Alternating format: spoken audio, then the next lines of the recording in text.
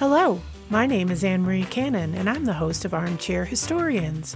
What's your favorite history? Each episode begins with this one question. Our guests come from all walks of life YouTube celebrities, comedians, historians, even neighbors from the small mountain community that I live in. They're people who love history and get really excited about a particular time, place, or person from our distant or not so distant past. The jumping off point is the place where they became curious, then entered the rabbit hole into discovery.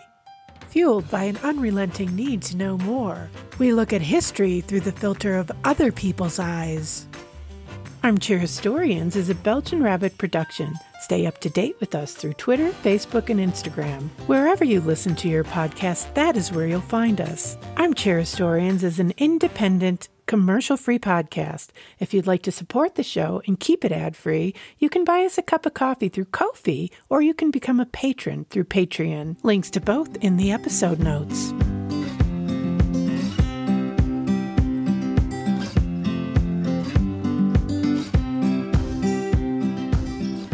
Hello, fellow armchair historians. In this episode, I'm doing something a little bit different. You may recall that I interviewed my great nephew Finley for our New Year's 2021 episode. If you haven't done so, I highly recommend listening to that episode. It's one of my favorites. Well, Finley and I talked about a lot of things, some of which did not make it into the final cut. In this installment of Armchair Historians, I share one of the sidebar conversations we had about Finley's favorite history in the form of a mini-sode. So one of the reasons I love to interview kids about history is the very unique way in which they relate to the historical characters and events. Who does a child cast as a hero? And who does he cast as a villain? I believe the way we view the world and ourselves are evident in the way we tell the stories of our history. Children are no exception. So the floor is yours. Tell me. So in Blackfoot, an Indian tribe, one of the chiefs' names was Little Blaze. Why his name is Little Blaze is because he was littler than some of the other people in his tribe. And he was one of the chiefs of of his village. I don't I don't know why it was called Blaze. Oh, okay. There's something I think I know why. Like that's what his parents named him Blaze. And and Little is what the tribe named him. Okay. So what do we need to know about Little Blaze? Why should we care about him? I don't really know because I, I just found that and I wanted to like tell history about him and but Okay. how he died it's really sad. So you know how there's lots of fights there was that one fight against the people that were trying to fight for their home, their Native Yeah. Americans, and uh, Yes.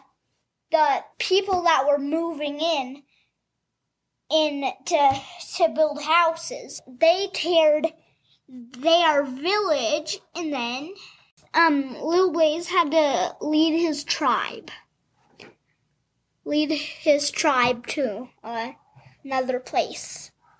It sounds like what you're saying. It was in the 1800s that Yeah. the Native Americans had. It's like you living in your house. Like you're living in your house. You're like la la la la. My dogs are outside. This is what I do every day.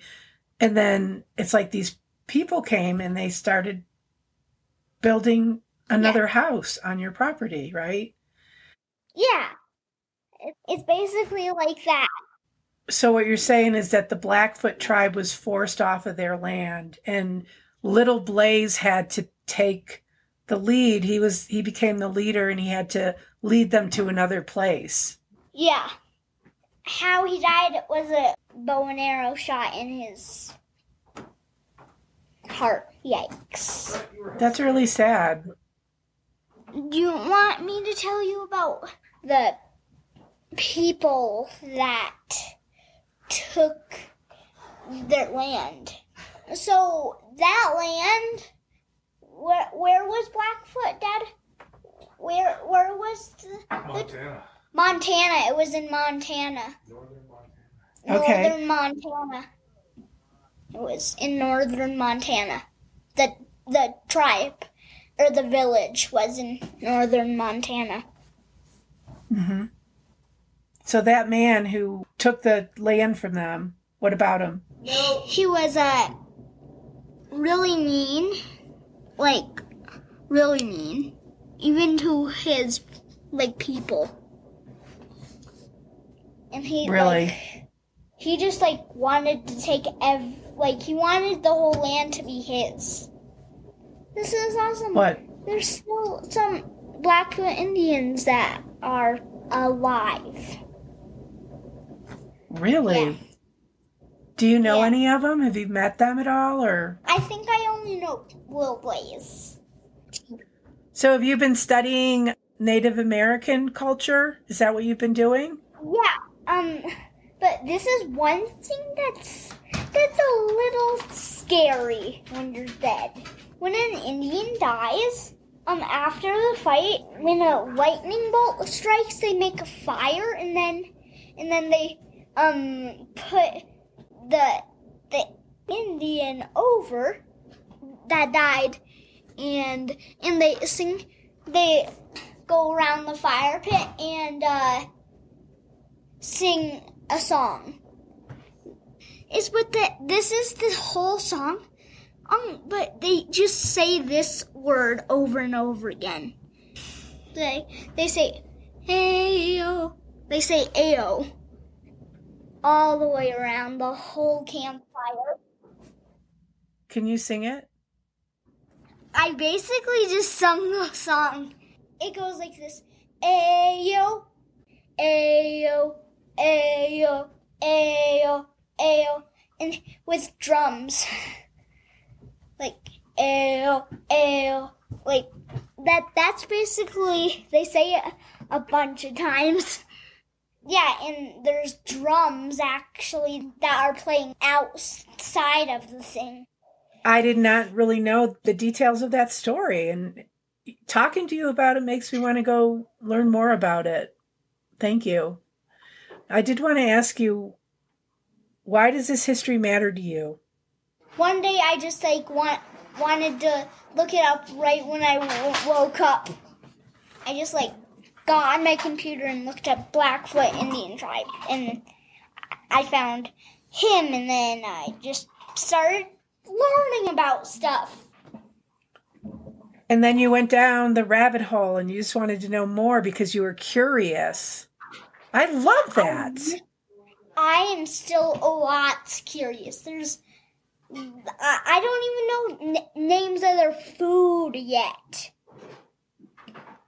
Wow, so there's a lot more. There's a lot more to research, huh?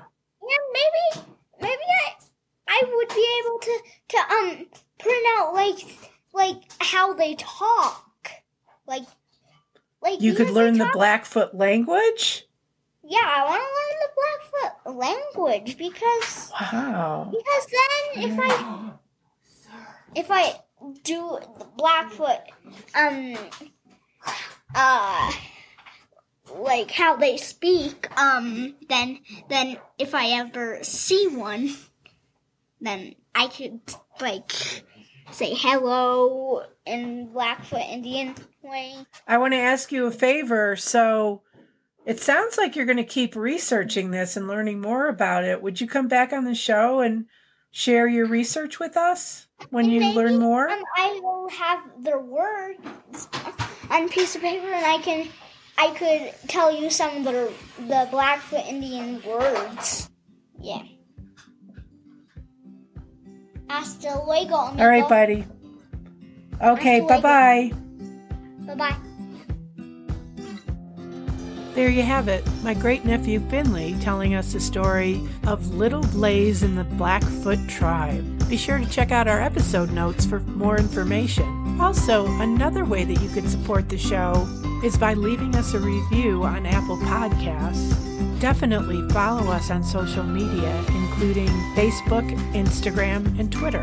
And all the little things that you do on social media, like, subscribe, follow, leave a comment, it all helps. Thanks for listening. Have a great week.